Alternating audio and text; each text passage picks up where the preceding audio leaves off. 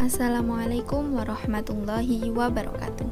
Perkenalkan nama saya Titi Meila Fauziati dari peserta KKN DR dengan kode DPL 109 yang diampu oleh Bapak Dr. Muhammad Komarul Huda Magister Filsafat Islam. Saya akan membahas sedikit tentang urgensi moderasi beragama di Indonesia. Indonesia merupakan bangsa yang majemuk, yang memiliki keberagaman suku, ras, budaya, bahasa, dan juga agama. Yang mana keberagaman tersebut disatukan oleh semboyan bangsa Indonesia yaitu Bhinneka Tunggal Ika. Apa sih beragama itu? Beragama itu menebar damai, menebar kasih sayang, kapan pun, di mana pun, dan kepada siapa pun. Beragama itu bukan menyeragamkan keberagaman, tapi untuk menyikapi keragaman dengan penuh kearifan. Indonesia dan agama merupakan dua kata penuh dengan keragaman.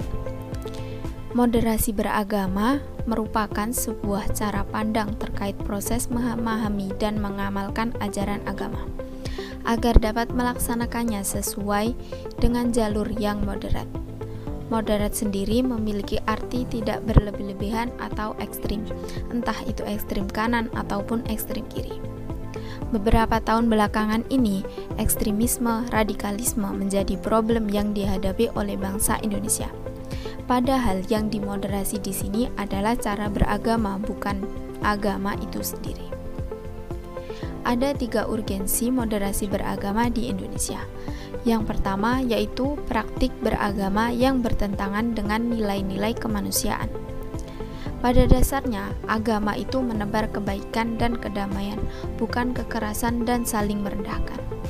Yang kedua, munculnya tafsir agama yang tidak dipertanggungjawabkan secara pengetahuan, yang ketiga, mulai terlihat cara beragama yang merusak ikatan kebangsaan dengan tekanan yang mewujud pada pilihan sikap untuk memploitasi agama dan sikap mayoritas terhadap minoritas.